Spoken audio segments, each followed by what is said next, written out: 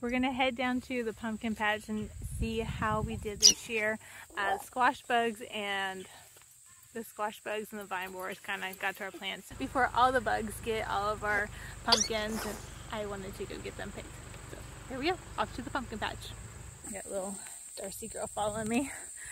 Uh, this is our best year with pumpkins. We got some really nice sized ones, but I noticed last night the squash bugs have gotten really bad in this area and I don't want them to ruin our pumpkins. So I'm gonna come over here, start cutting them, line them up, and then this evening we'll gather them up.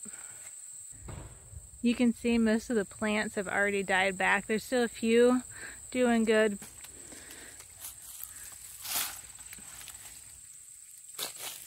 I'm gonna see if I can find a section with a, a lot of squash bugs. See, look, like this one, we already lost this one to rot.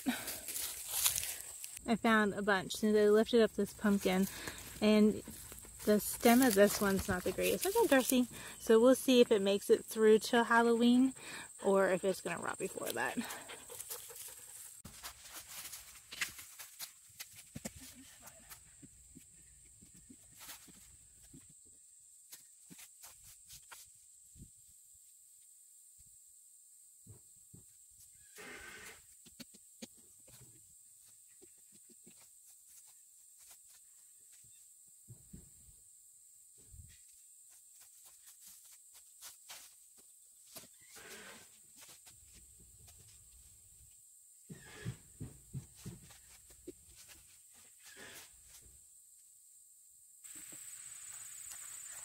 Think this one, I haven't found a tag so I'm not positive, but I think this is a Cinderella pumpkin. Isn't it a cute shape?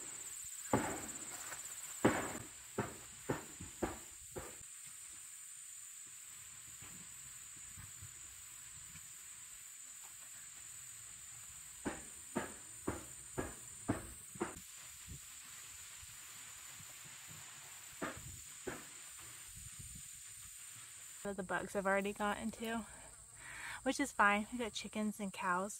so They'll be able to feed it to. It's just unfortunate that we didn't get out here soon enough to get these. I told Bo next year we were going to plant pumpkins in the field behind us.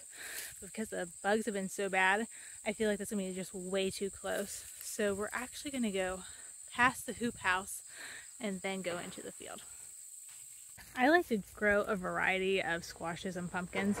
One that I'm trying new this year is this one.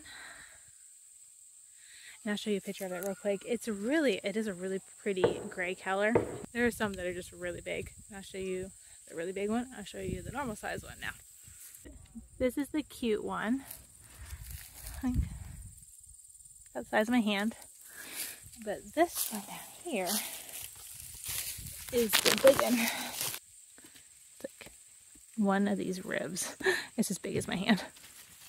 While I was just going through and picking these last couple pumpkins up, I found a large bit of the squash bugs all over the plants. So not only am I not going to be planting pumpkins in this area, I'm also not going to be planting any squashes or cucumbers that will be also attached by this. I was doing really good this spring trying to get out here and kill the eggs, but then you get to a point where other things need done than just killing eggs for squash bugs. And it's hard to get them anyhow because most of the time they are under the leaves. I'm going to show you because there's a cluster right here of squash bugs. So you can see they're all over. They're just everywhere down through here. So those are all your squash bugs. And then typically for a vine borer, typically for your vine borer, it's right here. They get right at the base of your plant and they get in there and they just eat it up. And that's how you lose your plants. Here's another example this vine. I think I stepped on it. I don't even know if I did. And it just completely came off. And so there, it's, it's gone. Out of all of our pumpkins, these four, plus there's another one down there on the other side of that nice plant that is just too rotten. I'm then going to take them straight to the animals.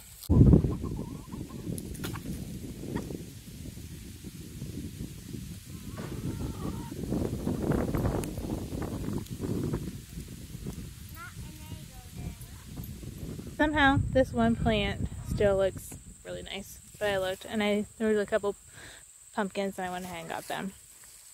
This is our very biggest. I'm going to leave it for Bo to get out of here. It's a very nice pumpkin. I'm hoping the underside of it looks as nice as this top side. Alright, just finished picking all of those and I have some of those gray ones that are like the winter squash, the Jarrahdale or however you say it. Um, it has a very big vine, so if you were to grow them, uh, beware. They vine everywhere. I'm going to show you where they've gotten to. That variety of pumpkins was planted all along here, so at the edge of the corn, and had went up through here. And then you can see where they have vined all over. And then I came over here the other day because I need to pick tomatoes and I wanted to see how much I had. And come to find out, not one, but two had gotten clear over here. And the plant even keeps going up through here and into our walkway in between the beds. Look, I looked down and found a third one. These ones are gonna wait. I'm not gonna pull them.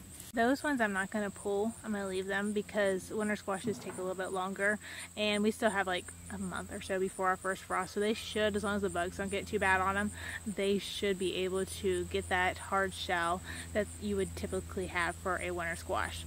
Summer squashes, when you cut like your zucchini, you cut right through it, you don't have a hard time at all. Your winter squashes, because of that preservation that they have, that makes them winter, they can last through the winter, they get a harder outside and that's what these kinds are. Hey guys, so I'm heading over to where we put some of the pumpkins. I didn't get to wrap up the other day. We ended up working on some other stuff and then I had to get everybody in for dinner and such as that. Um, I did get to decorate a little bit over here at the lime sower. I'm really excited. We're going to get some corn stalks and I got some fall flowers to stick up. But I'm going to show you what it looks like so far. So there it is. It's going to be so cute. I'm very excited for this little nook in the corner of our property. And it happens to be by the cows and by the new chicken coop. Before we sign off for this video, I just wanted to share that growing something can be more than just production. Yes, we definitely want to get a lot of things preserved. That's why we have a garden. Most people is because they want that uh, security and their food source and that's one of the reasons we grow so much food. That's why we have such a big garden. The other reason is for beautiful things back there. I'm excited to decorate and have our fall up and then some of these pumpkins will be used for carving and some of these I will be cooking and storing in the freezer to make pumpkin um, rolls. I make a lot of those over the winter season. Plus, you know, there's a pies and different things like that. And that's just, it's it's beauty and it's also food and I'm so grateful that they did so well this year and we have a nice little stockpile and I don't have to worry about going to the store for my pumpkin this year. Hopefully we'll have enough. Alright guys, well until next time, enjoy decorating for fall and we'll talk soon. Bye now.